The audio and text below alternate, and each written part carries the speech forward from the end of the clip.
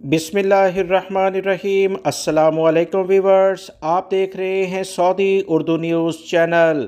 Saudi Arab की वजारत दाखिला की जानब से अहम तरीन बयान जारी हुआ है, जिसमें बताया गया है कि सऊदी अरब में वो तमाम गैर मुल्की अफराद जो गैर कानूनी लेवल पर रहते हैं, इनके ख़िलाफ़ ऑपरेशन में मज़ीद तेज़ी लाई जा रही है। ताज़ा तरीन इतलात के मुताबिक बारह हज़ार तिरानवे के करीब गैर मुल्की अफराद को सिर्फ़ एक हफ़्ते के दौरान गिरफ़्तार कर लिया गया है, जिसमें छः हज़ार पाँच सौ अठानवे वो गैर मुल्की अफराद गिरफ़्तार हुए जो गैर कानूनी लेवल पर सऊदी अरब में दाखिल हुए थे। चार हज़ार बयासी वो गैर मुल्की अफराद गिरफ़्तार हुए जिनके पास अकामा मौजूद नहीं था। और ऐसे गैर मुल्की अफराद को भी गिरफ़्तार किया गया, जिसकी तादाद एक हज़ार चार सौ तेरह के करीब बनती है, जो लेबर कवानीन की खिलाफ वर्जी करते थे।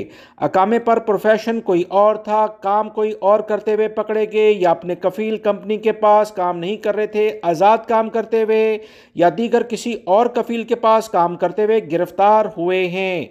सऊदी ज़राए अबलाग के मुताबिक तेरह ऐसे अफराद को भी गिरफ़्तार किया गया, जो सऊदी अरब में गैर कानूनी गैर मुल्की अफराद को ट्रांसपोर्ट रहाइश या मुलाजमत की सहूलियात फ्राहम करते थे। इसमें सऊदी शहरी और गैर मुल्की भी शामिल हैं।